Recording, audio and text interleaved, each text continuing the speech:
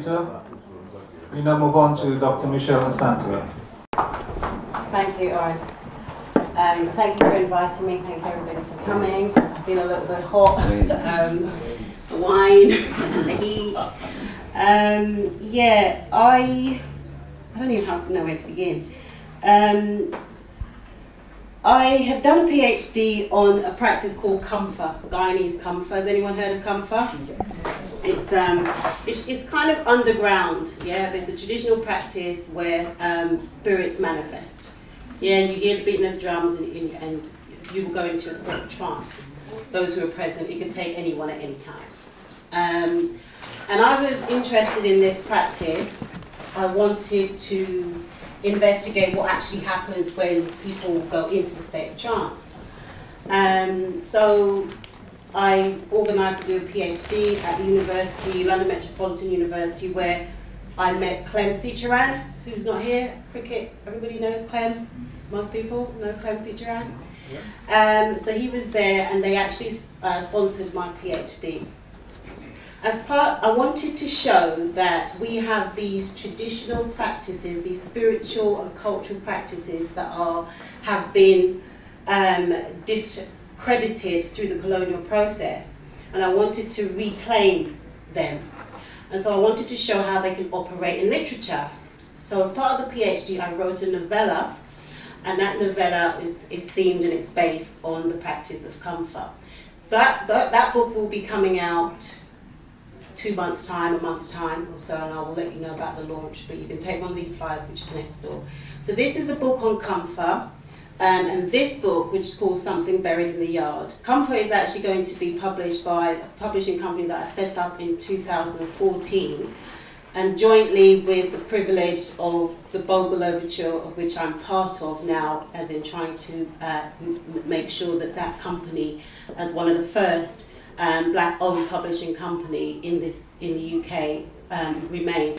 And so I wanted to show then, I wanted to extract the novella, so you can read the, the book, which is theoretical, and the novella in here. Um, but the novella is actually also separated out in this format called Something Buried in the Yard.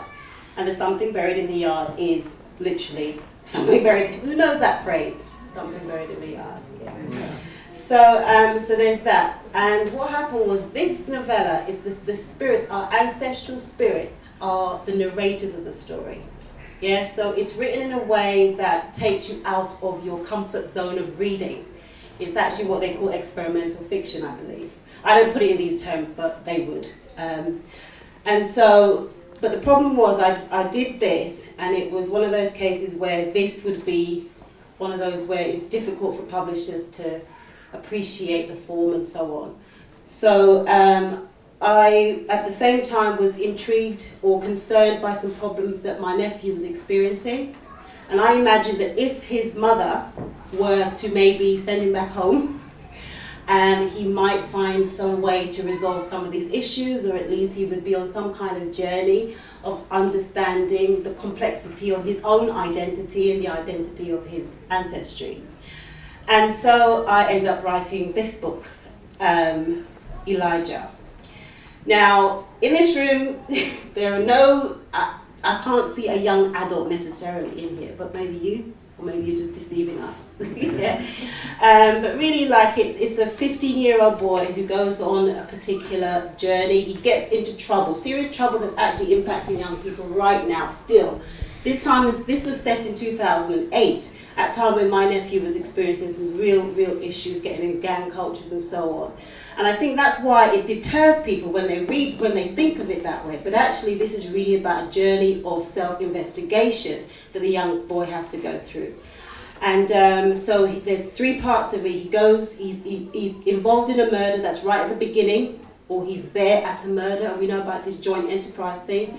His mother decides that she she kind of has an inkling that maybe he was part of it, she doesn't know. She decides to ship him home um, to Guyana and kind of abandons him there, leaves him to deal with whatever his stuff, and he is, begins his search. So in the middle section of this, part two is where he goes into the interior. He's going on the interior now on the premise that he's looking for his father, his lost father who you never know, and he, he never knew his father. So he goes looking for him. And, um, and then he has to come back to London. But he's actually experienced a bit of um, a brutal experience by his father's who was uh, father's friend who was um, digging for gold with him. They were partners, so he experiences this this abuse by this. Slowly, he lifted the lid of the seeing eye because he'd obviously been brutalized. A large cat, splotched with a compact range of black spots, was looking down at him. It looked like a leopard, but was much smaller than those he'd seen on wildlife programs. Though small, it was larger than any cat he had seen, and surely large enough to attack him. But because the attack was delayed, if it was even going to come, Eli felt some of his muscles release themselves, felt his breath release too. The cat looked quizzically at him. Its eyes stared intensely into Eli's eye, as though it was reading some secret message hidden there. Its caramel coloured fur was thick on the top with a lighter creamy shade underneath. There were black slashes, not spots, on the front part of his underbelly. His fur seemed so soft that some part of Eli imagined he could stroke it. Maybe if he could move an arm, he might attempt to. Eli wondered why the cat had not attacked him, wondered what else he wanted from him. He didn't go to the cassava bread nor the cup. It began to back away, but, moved, but only moved about a foot or two from Eli. It stretched out its lean body on the ground, nestling its head against some leaves.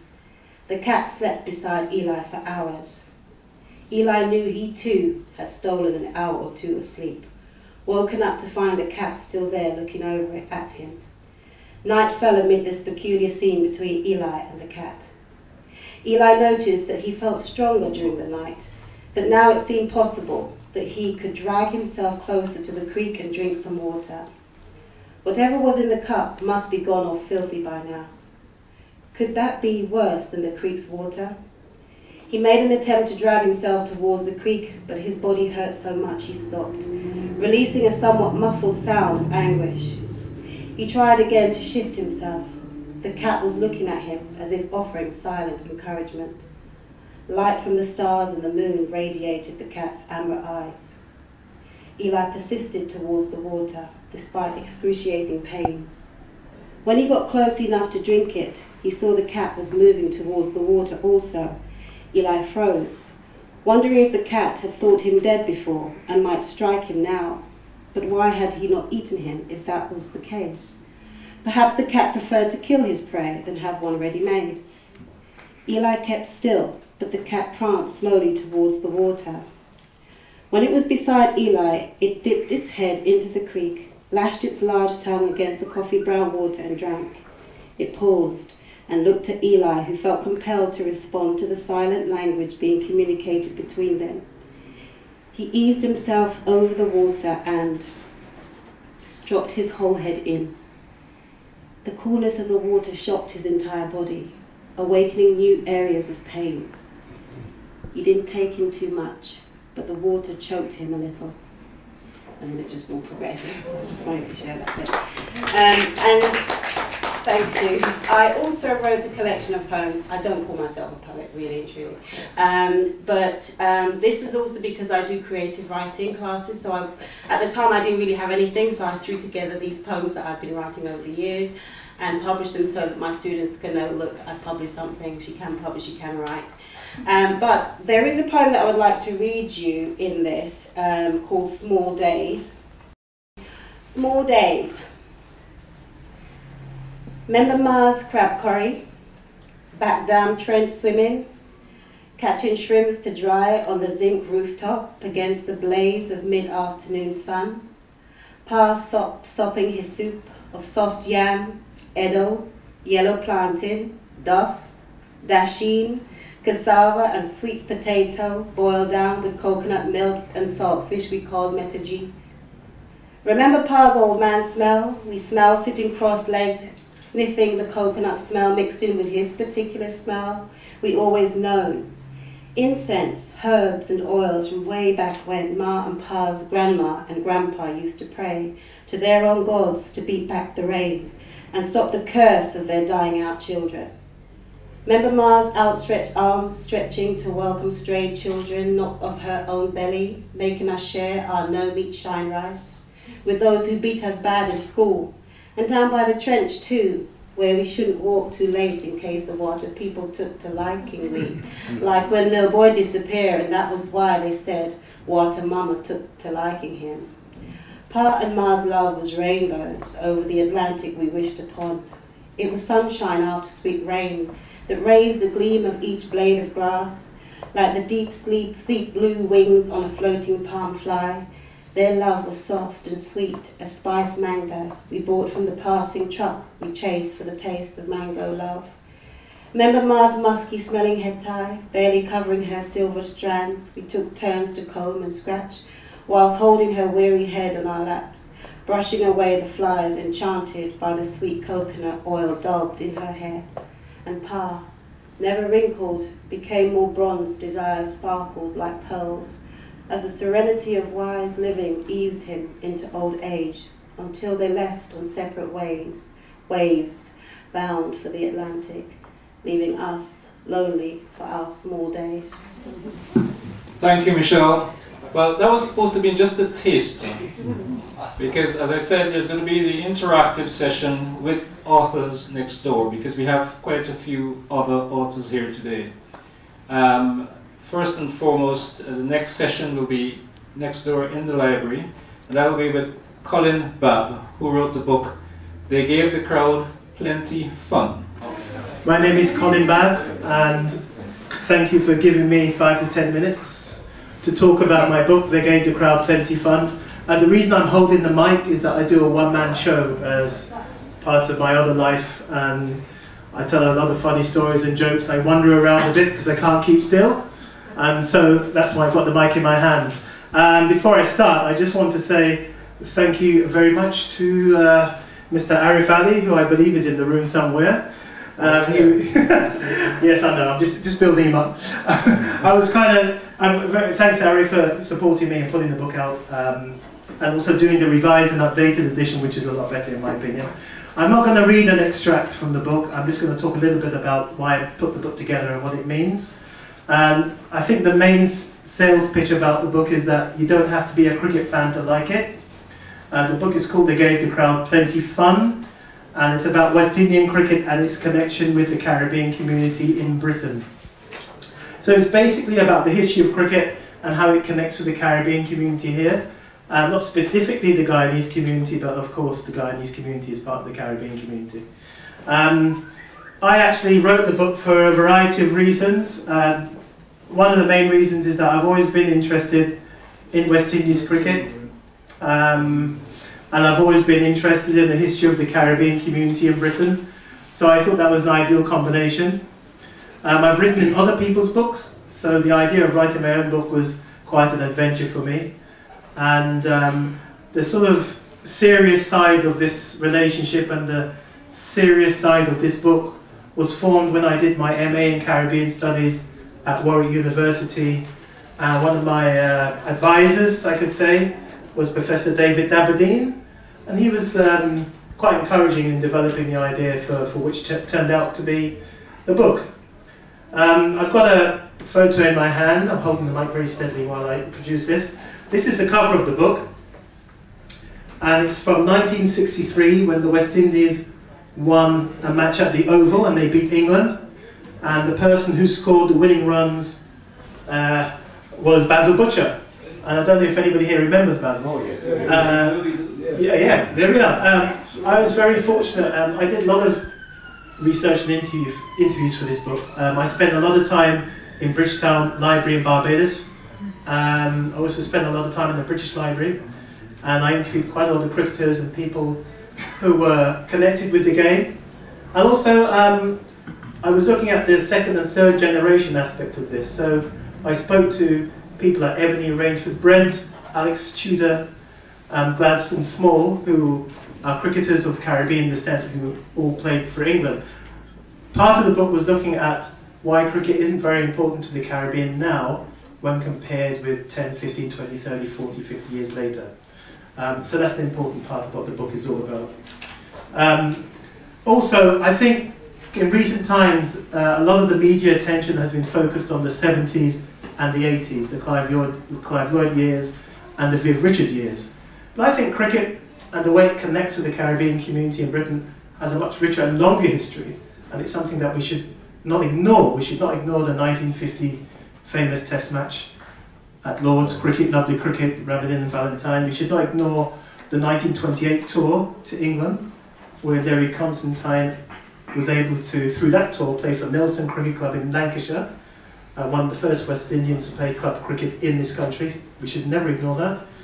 And of course, the 1963 tour, a very important tour because that was at the height of migration from the Caribbean to Britain. So the idea of West Indies coming here and winning 3-1 against England in 1963 was very important to a lot of Caribbean people here. So the focus on the book goes from the 1920s up to the present day. Also looks at the famous Blackwash series in 1984 when the West Indies won 5-0 here. And also looks at the famous uh, Grovel Tour of 1976 when Tony Greig said a few things which uh, annoyed a lot of West Indian fans and players. Um, but interestingly enough, um, as part of my research for the book, I found out that Tony Greig was in, in fact very, uh, very much important in recruiting West Indian players to play for the Packer Series, World Series cricket, which in turn helped the West Indian players uh, collectively earn more money from the West Indian Cricket Board. Uh, so in a way, Tony Greig uh, indirectly helped West Indies cricket, which is something I, I didn't discover until I did the research for the book. Um, it was very important for me to write this book because um, I feel that the, the relationship between the West Indies cricket and the community here is dying, which is very unfortunate. And there are many reasons for that. And it's not just to do with the West Indies uh, in the last 15, 20, 25 years having a bad run of results. I don't think that's it. I think the community here has changed. Um, second, third, and fourth generation people of Caribbean descent I don't think have that connection with the Caribbean that maybe people who migrated here in the 50s and 60s did, and their immediate descendants. I remember when I was growing up here in the 70s, when the West Indies came on tour, it was a massive event. Even if you were not a cricket fan, it was very important to you. But now that is no longer the case. Um, also, if you're born in this country and your mother's got Caribbean connections, it's more likely. I meet so many people now who were born here, but it's their grandparents, even great grandparents who are from the Caribbean. So that connection with the Caribbean is beginning to disappear. And obviously, there's obviously the competitive forces of football and basketball and other sports which, which people want to participate in. And um, another less optimistic uh, uh, statement I like to make is the fact that the majority of people of Caribbean descent in this country go to state schools which do not play cricket. So the participation is, is beginning to decrease. Now, when I went to my schools, all state schools in the 70s, we all played cricket, but there again, all the playing fields have disappeared and all the fundings have disappeared. You can blame Margaret Thatcher for that, I don't know. But, uh, you know, that's just what's been, what is going on. Um, another thing I, would like to talk about was why the West Indies team was important to me. was a lot of it was down to the fact that when I was growing up in England, there, there weren't that many um, obvious uh, black personalities on television, um, including Caribbean personalities. I remember a guy called Cliff Hall, who was one of the few Caribbean people I used to see on TV regularly because he was a member of a band called the Spinners. Does anybody remember the Spinners? Yeah. They used to have a show on Saturday night. When Cliff Hall came on, it was quite an exciting moment, you know. and I always remember when I was younger, uh, whenever we'd watch a program like Z Cars. Anybody remember Z Cars? Yes. Programs like that. You know, there'd be a black guy sitting in the cafe, and we'd shout, "There's a black man on the telly!" and everybody would come from like all corners of the flat to try and watch. By the time they got there, this black guy disappeared, and then we'd watch the credits to see what surname he had. You know to see if he where he's from. So if he was shilling for these a Dominican, right? Or he's, so we'd always, and it was a very exciting moment. I can, I can actually see my mother now calling her Jamaican friend to tell you there's black person on the TV, on the telephone. You know, it was such an exciting moment. So when the West Indies came here, you know, you had the West Indian team beating England. It gave you a real sense of visible, visible focus. It was so important. And you didn't have to be a cricket fan to appreciate that. Uh, my mother is not a cricket fan, but for her, when the West Indies won, it was a very important moment. So all these are symbolic things. Uh, and so that's what the, what the book is about.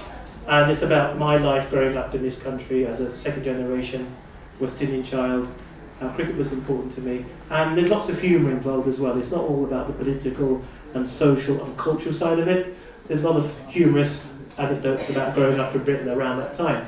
Um, I was having a chat in the room next door just now. Uh, lots of migration stories, which you always hear when you come to these events. I came here in 1961, and I came here in 1962, and you know all the usual stories. My mum used to used to say, and I've never seen snow, and I remember it was so foggy, and I nearly fell over, and you know all the stories that you hear. And um, I, my, my memories are embedded in the 70s, but uh, one of the things that cricket gave me was a sense of a pan-Caribbean self. Because I grew up with two very uh, dominant, strong Guyanese women, my mother and my grandmother who were Guyanese in my house, or my flat in South London. And I always felt, when I was growing up, I always felt Guyanese. I didn't really feel West Indian.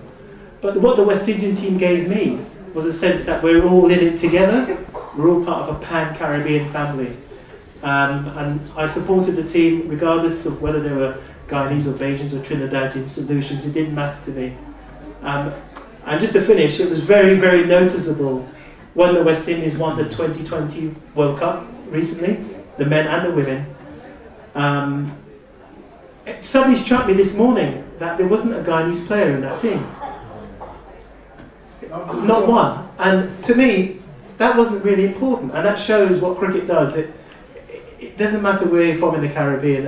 When the cricket is on, generally, that's when all the divisions between the different islands, uh, nationalities, all the class and race barriers tend to get broken down generally when that cricket match is on. And that's why the West Indies team is still important, despite the fact that results and performances have been poor. So um, that's it.